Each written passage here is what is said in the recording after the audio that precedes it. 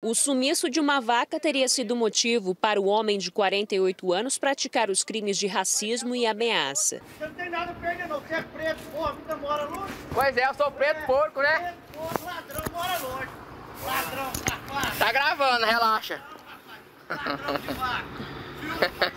O crime aconteceu na cidade de Aragoiânia, região metropolitana de Goiás. A vítima, de 34 anos, contou para o delegado que o suspeito de injúria racial já havia procurado por ele e cometido racismo antes.